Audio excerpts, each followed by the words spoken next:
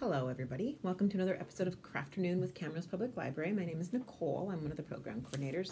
So today's little craft is super cute, and it got me thinking to do something like this because when I was driving on the highway the other day, I had to slow down for a little frog that was hopping across the road. So I was very happy to see the first frog of spring. So what you're going to need is a pencil, some googly eyes or buttons. Buttons will work if you don't have googly eyes at home. Not everybody has googly eyes. Everybody should have googly eyes, but not everybody does have googly eyes. A pair of scissors and some pipe cleaners, whatever colors you want.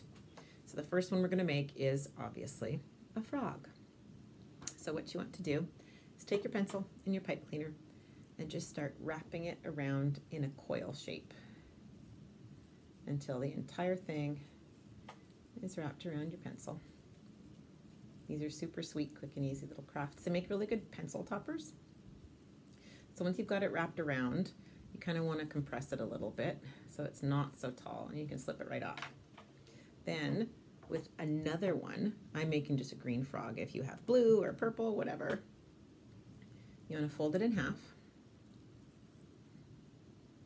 pinch it in the middle, and then you want to, I would say about a fingernail's length.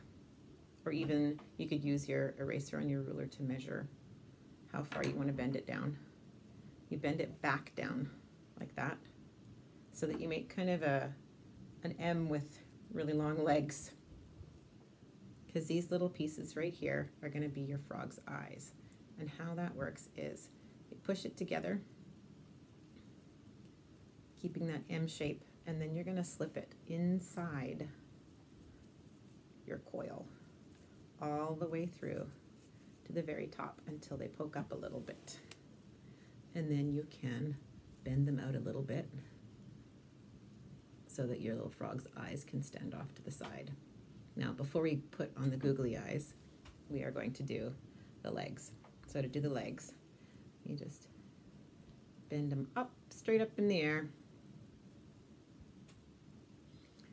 and then about the height of where his top of his head is, you bend them back down.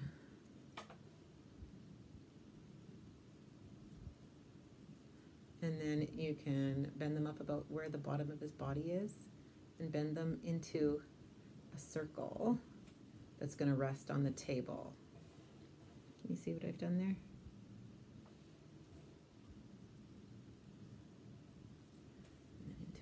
Circle. And then he should sit on a table or on a pencil, on a pencil topper. So you're to want um, a little bit of a red because we need to make him a tongue. So I would say maybe a quarter of a red pipe cleaner. I'm to grab another one here because I need that for our other little creature we're making. Just a little piece of red pipe cleaner. And kind of bend it into a a squiggly shape. And I would say about three loops down, you can stick that in, and that'll be his little tongue. And then we can stick on some googly eyes or some buttons if you don't have googly eyes, or even some little pieces of paper that you've colored and cut out. You could glue them on. And there we have a little frog can live on the end of your pencil. I have two of them. They make my heart happy. So one more, one more little creature we're going to make. We're going to make a little bird. So you're going to need one and a half pieces of whatever color you want the body of your bird to be. And it's pretty simple. It's the same beginning part. You just want to coil your full pipe cleaner around.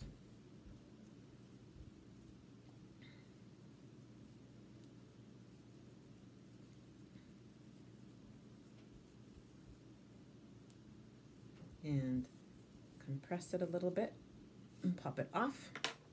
Now, I'm using gold. I don't have an orange pipe cleaner, but this is going to be for the beak and the feet. So how this works is you just bend it in half, bringing it to a point at the top, and inside the little coil, you push it up, and you want to count down one, two coils from the top. And poke it out there just a little bit because this is going to be the beak. I'll show you. There, it's poking out. And then you can bend it down so it sticks out the way a beak should. You see how that looks like a little beak?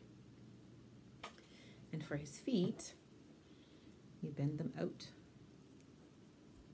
Not straight up like we did for the frog. You bend them out to the sides. And then half of that length, you bend it back underneath him. And it's going to make little feet for him to stand on.